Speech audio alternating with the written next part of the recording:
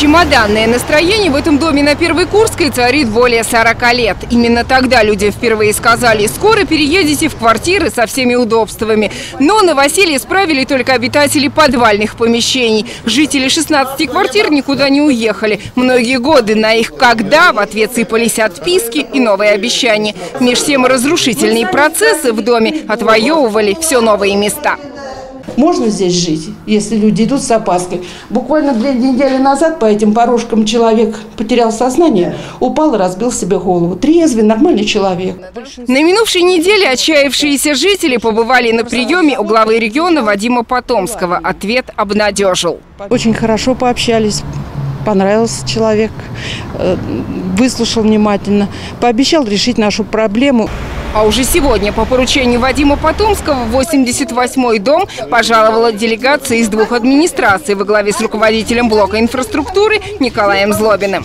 Он достаточно на хорошем месте находится, на бойком таком месте. Мы попробуем вместе с городом э, Орлом переговорить, предложить его для расселения инвестору. Если инвесторы не заинтересуют, то перспектива в новой программе, которая будет реализовываться после 2016 года, его включить и, соответственно, на общих основаниях и То, что квартиры со всеми удобствами перестанут быть роскошью, жители двухэтажек на улице Холодной тоже пока что верят с трудом. Эти дома были построены в 50-х, как времянки.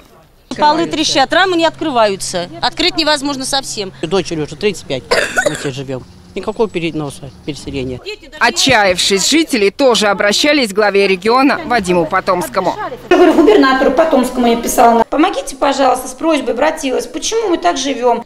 Жителей двух домов по улицам Холодной и Широкохолодной сменят адреса в декабре. В общей же сложности на территории области предстоит расселить почти 2000 человек из 103 аварийных домов. Как и в прежние разы, часть затрат возьмет на себя Федеральный фонд содействия реформированию ЖКХ. По реализации его программ и своевременности предоставления заявок на получение средств Ну, Орловская справляется. область входит в число лучших Сейчас регионов ЦФО. Нам дополнительно выделили на программу расселения 2014 года 24,3 миллиона рублей. Заявку мы на них написали, опять-таки даже в числе первых. А Сегодня она уже будет направлена в фонд. И я думаю, что в течение буквально там недели, там очень быстро, двух, мы эти деньги получим. Эти деньги дополнительные будут направлены в два муниципальных образования. Это в город Ливны в город Орел. О программе переселения сегодня шла речь на аппаратном совещании в администрации региона. Мы расселяем в 2014-2015 году 449 человек. А Здесь мы будем расселять с участием фонда и без участия фонда.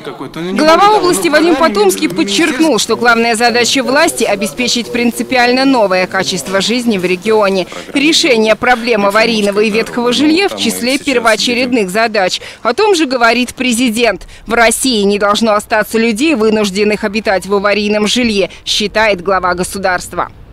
Кстати, с будущими квартирами для потенциальных новоселов проблем не возникнет. Объемы ввода жилья этого года обещают стать рекордными. Орловские строительные компании планируют построить свыше 400 тысяч квадратных метров. Наталья Пехтерева, Эдуард Черноускас, телеканал «Первый областной».